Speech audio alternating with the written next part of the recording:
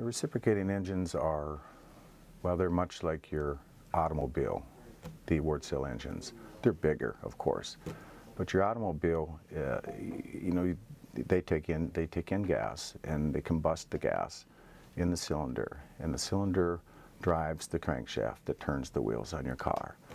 The Wärtsilä engines are the same thing. They're just on a larger scale. Instead of driving the wheels, they drive the generator.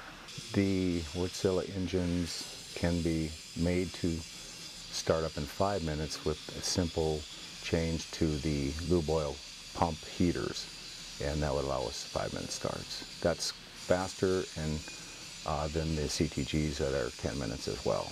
But it's important to uh, marketing and dispatch that we can get these machines up quick.